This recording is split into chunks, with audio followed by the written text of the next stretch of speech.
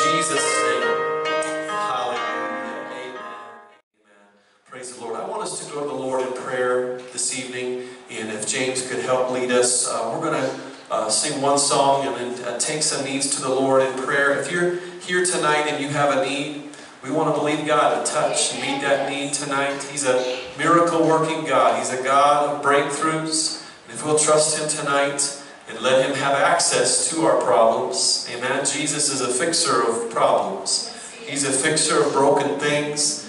And we believe that tonight. We want to pray uh, for uh, Brady, uh, who's one of our young people. He was sick last week and has some health issues. We want to pray that God touches him, gives him a healing in his body, and that he will no longer have the issues that he's been having with pain.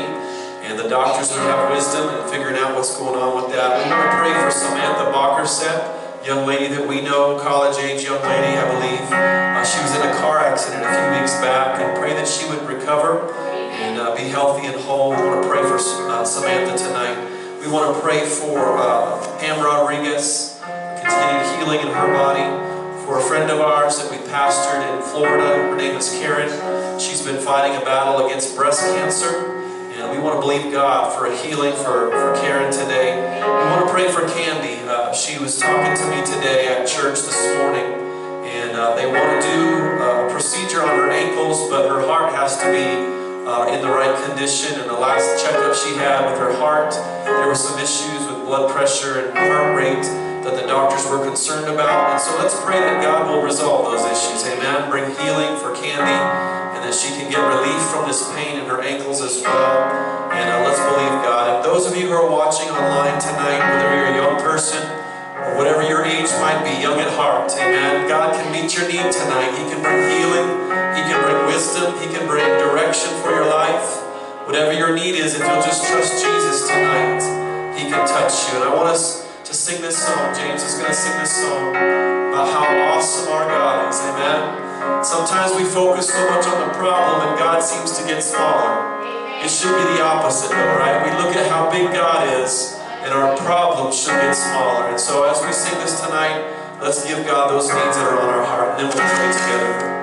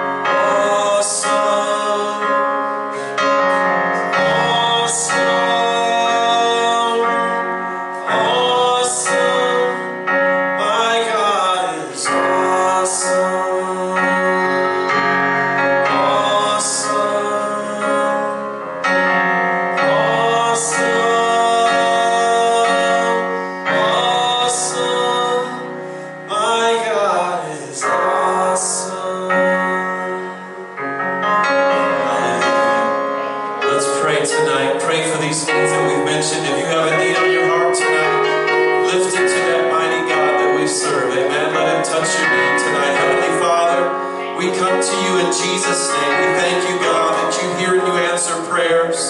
Lord, when we pray in faith, God, you respond to faith, Lord, that has the right object. God, the object of our faith tonight is who you are, Jesus, and what you did for us at the cross. We know that by your stripes there's healing. God, we know that you've made provision, God, for us to have peace, for us to have wisdom, for us to have provision for the things that we need in our lives tonight. I pray that you'll meet those needs. We pray tonight for Brady, God, that you'll touch him, bring a healing in his body. Lord, if he's still suffering with the flu, I pray that you would take that all away. These issues with pain that he's been dealing with, God, that the doctors don't know what's going on. Lord, you do. You're the great physician. We believe you'll touch him tonight and encourage him. We pray for Samantha Walker said tonight, healing from the injuries that she sustained in this car accident. God, give her health and wholeness in Jesus' name.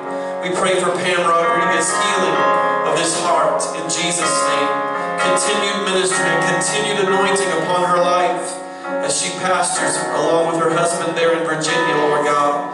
Use them, God, mightily. Give them a testimony tonight. We pray for Karen Bridges, Lord, healing of this breast cancer in Jesus' name. We pray for a divine reversal of this breast cancer. God, that healthy cells would come and replace these cancerous cells.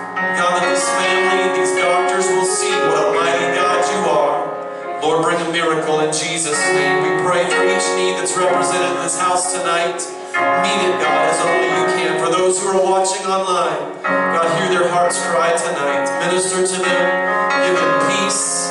Let them know, Jesus, that you're as close as a mention of your name. Lord, we just give you thanks. We give you praise for all that you're going to do tonight in response to these prayer needs. In Jesus' mighty name. Hallelujah. Amen. Amen. Praise the Lord.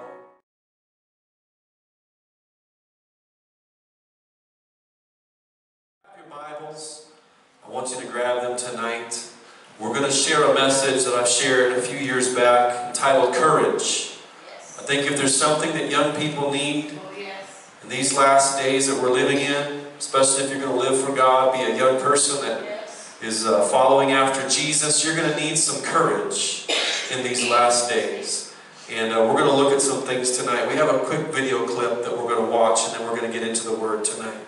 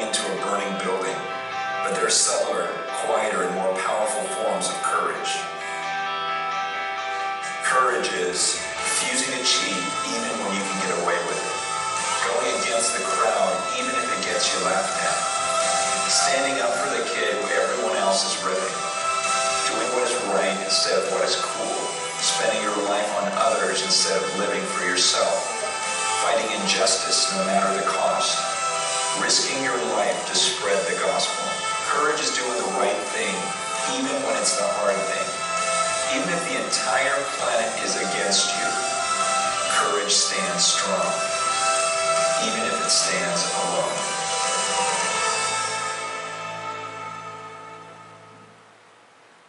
Yes. Praise the Lord. Amen. Praise the Lord. Courage stands strong. Are we on? Yes. No, Yes. Amen. Yes. Praise the Lord. Praise the Lord. Can you hear me now? Yeah. There we go. Praise the Lord. Courage stands strong even if it has to stand alone. I like that line in that video probably more than anything else. And young people, even if you have to stand alone to stand for Jesus Christ, what this Bible teaches, it's worth it. It's going to be worth it in view of eternity. You may encounter some ridicule, you may encounter some uh, persecution in these last days for standing up for Jesus, but the reward will far outweigh any little bit of humiliation that you might have to go through or suffering that you have to go through. What does courage look like to you? What's something that you could uh, that you would think would take incredible courage to do? We watched an air show yesterday, and we watched a, a pilot, a woman pilot, which was pretty amazing. I think one of the first, one of the few that has ever flown for an F-35 stealth uh, plane uh, uh, exhibition show. And it was a woman pilot. She did some maneuvers in that F-35. It takes some courage to do. They were talking about the G-force involved in some of those turns. She did one maneuver where she did a complete square with the airplane. She went like this, up like this, upside down, and then came back down. And they said it was close to 9 Gs. And uh, makes your body feel like it's about 1,500 pounds. And uh, if you're not conditioned for that, you'll pass out. Your body will just, uh, it can't handle that much pressure. But with the training that these pilots have and a little bit of courage in their heart, it takes courage to, uh, to fly a machine like that and to be ready for war, to be ready to defend your nation. That's courage. What are some things that you can think about tonight? Um, in a world where religious liberties are being stripped away from Christian pastors and churches, I believe it's going to take courage to continue preaching the gospel, to continue telling people about Jesus Yes. in these last days, sharing Christ with a dark world. And uh, they've been ravaged by sin, uh, but we're going to have to stand up and say, no, this is right. This is what God's Word says is right. And young people, you're going to have to take a stand in your school and say what's right. Maybe even to a teacher in a respectful way. Maybe even to an administrator in a respectful way. Um, not letting uh, the indoctrination that's taking place in our public schools change you from what Jesus wants you to be. And not only that, but the peer pressure, of course, of your classmates. Uh, sometimes the crowd may be going one way, and you're going to have to say, No, I'm going to go against the crowd, and I'm going to follow Jesus. I think of courage in the Christian world, and I think we have it on the slide there. Uh, Foxe's Book of Martyrs. If you've never read that book, it talks about people who gave their life. That's what a martyr is. They gave their life for the cause of Christ and for the sake of the gospel. And this book is still being written. Uh, it talks about the 12 disciples and how uh, Christian history says that they were killed, they died. We know that John, the Revelator who wrote the Gospel of John in the book of Revelation, it talks about him in, in the Foxe's Book of Martyrs. But we know he was boiled in a cauldron of oil. They tried to kill him, but it didn't work. He, he, he lived. Uh, the torture that John the Apostle went through, and he wrote us the Gospel of John, 1st, 2nd, 3rd John, and Revelation. And then he, we know he was banished to the Isle of Patmos. They thought after they boiled him in oil, that if that didn't kill him, if they put him on this island, that he would eventually die. He lived a long time. God used him to do a lot of things. In fact, most of the book of Revelation was probably written while John was on the Isle of Patmos. And you can read this book, and it talks about men and women throughout history, up until just a few years ago. What was it, 1990, uh, 95, 97, when Columbine shooting happened. We know uh, Cassie Bernall, Rachel Scott, the two gunmen that went through their school were putting gu- guns to their classmates' heads in uh, Columbine High School in Littleton and asking them, Are you a Christian? Do you believe in God now?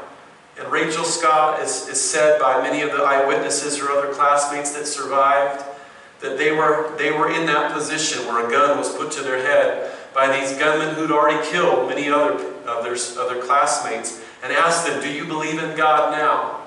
And they said, Yes, I do. And it was the last words they spoke. That's a martyr. That takes courage and strong faith to know that you know that you know God's never done anything wrong for me. How could I forsake Him? And so if you ever get a chance to read Foxe's Book of Martyrs, like I said, it's still being written. Some people uh, that are believers in third world countries like China, communist countries, Muslim countries, are still being killed just for naming the name of Jesus. And that's the kind of courage that God wants to develop in each one of us in these last days. Courage is part of God's character that He wants to put into our lives. Jesus Christ, the Son of God, probably demonstrated the greatest amount of courage the world has ever seen when He was beaten and He was innocent. He was crucified, mocked, put on the cross to pay the penalty for our sins. It took courage. And he was 100% man, just like you and me, and 100% God. So he felt the pain. He felt every stripe that was put across his back. He felt when they thrust that crown of thorns into his skull. And he did it to pay the penalty for your sin and for my sin. That took courage. If we're going to be like Jesus, we need to ask God, God, give me courage. Help me to stand in the face of adversity and be the person that you've created me to be. Look at Psalm 27. Psalms 27 and verse 14. It says this Psalms 27, verse 14 Wait on the Lord, be of good courage, and he shall strengthen your heart. Wait, I say, on the Lord. And I want us to look at just two uh, simple instructions that God gives us about courage from this verse, Psalms 27, 14. Two instructions that God's Word gives us about courage. Number one, what does it say in that verse? It says, Wait on the Lord. Nobody likes to wait, right? In our culture, we're a fast food, drive through uh, generation. You don't want to have to wait a long time at stoplights. If you went to the air show this weekend, you learned what waiting is all about. Our family did for sure. We made it all the way down. The, the, the air show was down on Milton Proby where the airport is, the Colorado Springs Airport. And uh, it was right across the field from the Amazon, new Amazon facility. We drove all the way down Powers and we got about maybe a half a block away from Milton Proby where we had to turn left. And it took us an hour to go that half a block because everybody was going to the air show. We don't like to wait, right, in traffic. We don't like to wait and drive through. When you go through the drive through at the bank, it shouldn't take 30 minutes, right? When you go through, that's not a drive through, that's a parking lot, right? When you go to Burger King or McDonald's or Sonic, you don't want to wait in the drive through longer than the people who are walking inside. And so uh, we don't like to wait in those, uh, in those kind of situations, and probably rightfully so. When we go to a mechanic, what do we usually want to know? How long is a repair going to take? But most mechanics, whatever they tell you, you can probably add about an hour, right, or more, because we don't usually get a very good uh, time estimate. We don't want to wait in doctor's offices, and sometimes that ends up being the case, right? Nobody likes to wait there. Nobody likes to wait in lines at Elitch's or Disney World or Water World. Uh, we want to get right to the fun that we're having. But this waiting that Psalms 27 is talking about, it's not just talking about looking at our watch and tapping our foot, passing the time. But this is talking about waiting like a waiter at the restaurant. You know how they come out with their with the drinks on the on the uh, platter to give you your drinks or bring your food. This waiting that is, talking about in Psalms 27 is that kind of waiting. So there is a time element involved, but it's more about serving like a waiter in a, in a restaurant. And so if we want courage, God's Word is telling us we have to learn how to wait upon the Lord, serve the Lord, meet His needs. What does He want from us? He wants worship, right? He wants fellowship. He wants consecration.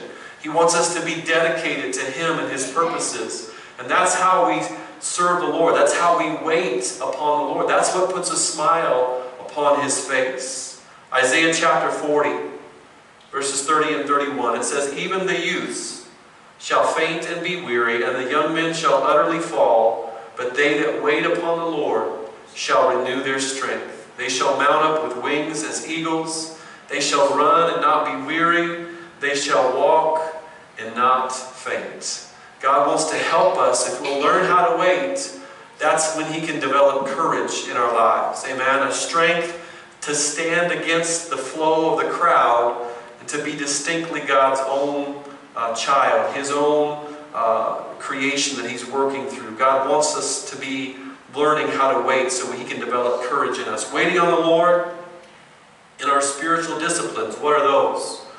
We ought to be making a habit of praying. We ought to be making a habit of Bible study, learning God's Word, memorizing God's Word. We ought to have a time of personal worship. Maybe it's in the shower when you're getting ready for school or work. But hey, if that's the time you have, take it to personally worship the Lord. Don't just wait till Sunday, amen, or Wednesday night.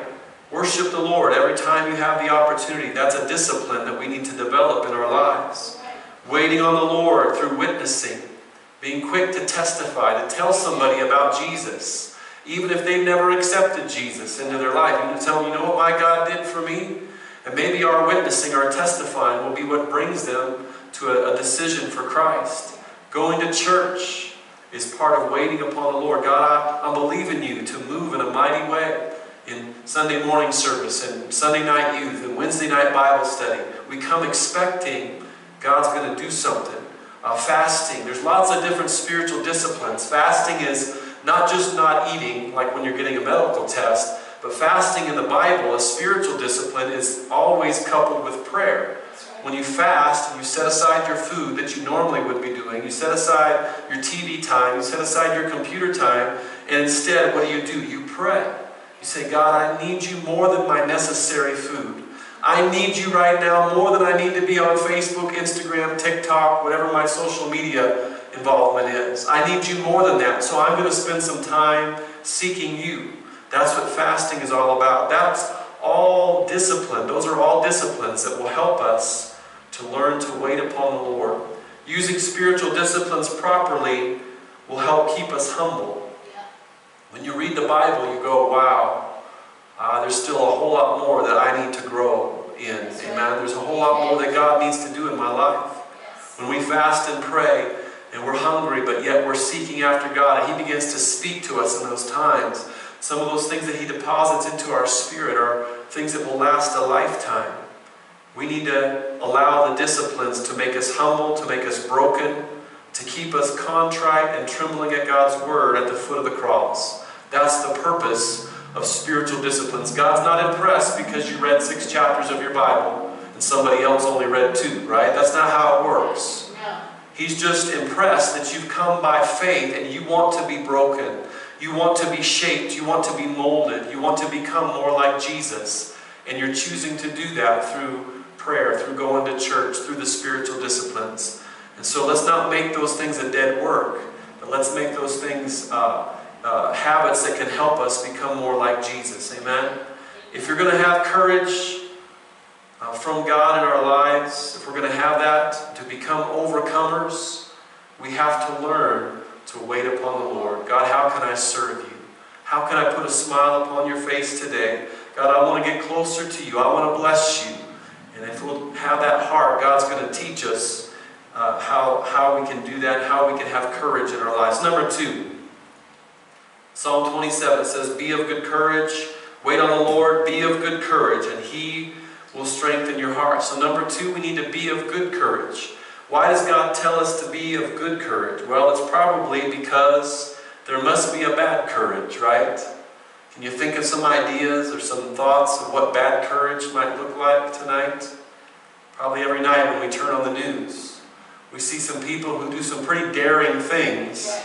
But how we know just because it's daring doesn't mean it's courage? There are many people who said that the kamikaze pilots that downed uh, the, the uh, ship in Pearl Harbor were courageous. No, they weren't. They were suicide bombers. They were daring, maybe, but they didn't have the kind of courage that God's talking about here. That's something different. What would be an example of bad courage? Maybe September 11th, the terrorists who destroyed over 3,300 lives here in our own country. Yeah, it was daring to do what they did, but it wasn't courage. That's not God's kind of courage. Robbing a bank is pretty bold, but that's not courage. Taking illegal drugs, playing Russian roulette with a loaded gun, those are all stupid things to do. Things that are foolish. They may be daring and bold from the world's eye, but that's not the kind of courage that God is talking about. And that's why He says, be of good courage. What God calls good, Amen. we need to learn what that is, and that's what needs to develop the courage in our lives. What does good courage look like? It's doing what God says, plain and simple, isn't it? Yes. Good courage is doing what God says, even if nobody else around you is doing what God says. Courage is standing, even if you have to stand alone, like that video that we watched just a moment ago. Mark Rutland says this about courage. Courage is that willingness to deny my own flesh and do what is right and noble regardless of the cost. Are we at that place tonight? Where we're willing to deny our own flesh, what we want, what our five senses want to do, we deny that and we do what God says is right and what God says is noble, even if it means that we have to self sacrifice a little bit, not only for our own lives, but for someone else. self-sacrifice so that someone else might come to know Jesus and be drawn closer to Him. That's what God wants to develop courage in our hearts. To be a follower of Jesus Christ takes courage, doesn't it? Jesus didn't say it would be easy to be a Christian. In fact, He said the exact opposite. Somebody told you when you got saved that you'd have no more problems, that it would be the easiest life ever. No, they, they were not telling you what the Bible says. It'll be difficult. Now, the Bible does say the way of the transgressor is hard. Yes. If you don't have Jesus, it's much more difficult than if you do have Jesus. But it doesn't mean we'll have an easy life just because we come to Christ. Matthew chapter 16, verses 24 through 26, Jesus said this. Then said Jesus unto his disciples, If any man will come after me, let him deny himself, let him take up his cross and follow me. For whosoever will save his life shall lose it, and whosoever will lose his life for my sake shall find it. For what is a man profited if he shall gain the whole world and lose his own soul?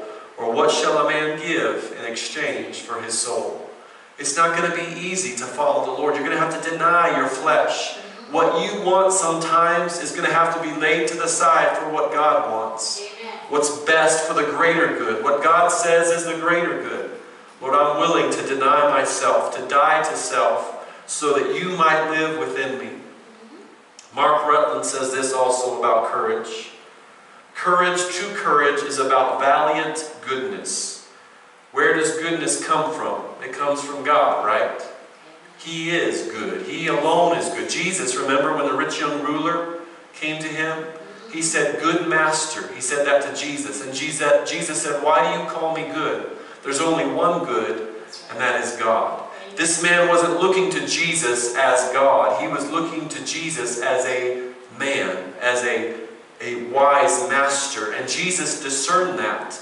And he said, Don't call me good just because I'm a good man and that's what you're aspiring to be as a rich young ruler. He says there's only one good, and that's God. And so goodness comes from God.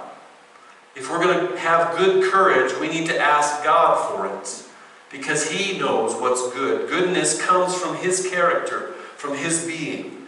We need to ask God to help us know the difference between good and bad courage. Young people, someone's going to tempt you to do something that's foolish, that may be daring, that may be bold, like robbing a bank, like driving 90 miles an hour down Powers Boulevard, or driving drunk. Something foolish that may seem daring at the time, but you better be thinking about what God says is good. And He wants to develop good courage in you. And good courage won't leave you with a lifetime of regrets. Amen? Good courage will leave you with God's blessings. Number three, the last point I want us to look at tonight from this verse, Psalm 27. What's the promised benefit? What's the reward if we wait upon the Lord? We let Him develop courage in us. We have, we're people of good courage. What's the benefit? What's the promised reward? It says, He shall strengthen your heart. Amen? God will strengthen your heart. You'll be able to stand like David, who most people say was under five feet tall, and go out against a Goliath that's nine and a half to, to 11 feet tall. They're not sure exactly how tall he was. And say, You come against my God. You come against the name of my God. You come against me with spear and sword, but I come against you in the authority of the name of my God. We have that kind of courage. God strengthens our heart to face the giants in our lives and have courage and not back down. When Satan is breathing his threatenings against our health, against our families, against our finances, we can say, No, my God is greater. He strengthens our heart. If we wait upon the Lord, we're of good courage. The Bible says God will strengthen our heart. Jeremiah 29, verse 13. The Bible says, You shall seek me and find me when you search for me with all your heart. We need to seek after God like it's that important. The parables that Jesus told in the Gospels about how important the kingdom of God is. We sell everything. He said there's men that sold everything they have to buy that pearl of great price, right? Jesus and His Word ought to be that pearl of great price. We're willing to sacrifice everything else of value in our lives if we can just get a hold of Jesus and His kingdom. Seek, seek for me with all of your heart, and you're going to find me. Not just a half hearted effort, We don't just come to church because our parents are making us, right, young people? We come to church, we come to youth service, we're seeking after God, we're reading our Bible because we've got to have God in our lives. We need His strength, we need His direction. God will give us the courage to not compromise, to not give in to sin. He'll give us the courage to make the right choices and to please Him with our lives. He'll give us the courage to be a leader in our generation. It's easy to be a follower, Yes. isn't it? To just follow the crowd, but God wants to raise up among the young people at Finished Work Worship Center, He wants to raise up some leaders in your generation. Stand up for what is right, stand up for what is just, even if you find yourself standing alone. God wants to give you that kind of courage. He wants to give you courage to make a difference, an eternal difference in the lives of your friends. And you don't have as much time as you think, young people, to make a difference in those friends' lives. The Bible says in James that life is a vapor waiting to pass. When you're young, you think you're invincible, that you're going to live forever and nothing's ever going to hurt you. But our lives can be snuffed out very easily. Amen. And so we need to have courage to tell our friends about God, to tell them about uh, Jesus and what He did for them at the cross before it's too late, before time is up in that young person's life. And so let's believe God. God's going to give us that benefit, that reward of strengthening our heart, helping us to be the people that He wants us to be. James, would you come back to the piano? I want us to close this service out in prayer. This hasn't been a long message tonight. But I believe God is speaking to us about courage. There's one thing that young people need in these last days is to be courageous, to have a godly kind of courage, to face what God is causing you or allowing you to face. I think young people today face things that most of us adults didn't have to face with some of the temptations and the pressures that are out there. And uh, it's a real battle. Satan wants to destroy your soul. But if you'll trust God, if you'll look to the Lord, if you'll learn to wait upon the Lord, be of good courage. God says He'll strengthen your heart. He'll help you to be that young man or that young woman that He wants you to be. Amen. If you'll stand with me tonight, I want us to close in prayer. Yes. I don't know who this message is for. Many may be watching online. Your life's not right with God, whether you're a young person, whether you're an adult. It takes courage to make a decision to follow Jesus. For the rest of your life. It takes courage. I want to ask you as a pastor tonight, is Jesus the master over everything in your life? Is he in control or are you calling all the shots? Have you asked Jesus to forgive your sins? Do you have a daily personal relationship with Jesus? If you don't, Revelation chapter 3 verse 20, the Bible says, Behold, I stand at the door and knock. This is Jesus talking. I'm standing at your heart's door and I'm knocking. Jesus says, if any man will open that door, I will come in and eat with him, and he can eat with me. We can have that close personal relationship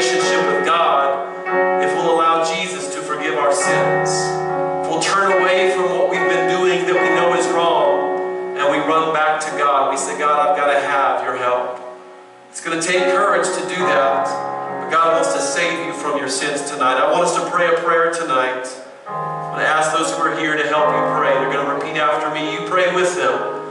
Invite Jesus to come in. Invite Him to change your life and to make it what He wants it to be. And I believe He's going to forgive some people tonight. Would you pray this prayer with me? Dear Heavenly Father, I come to you in Jesus' name,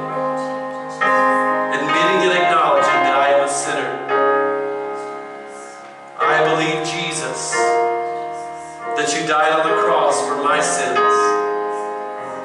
paying the penalty that I deserved.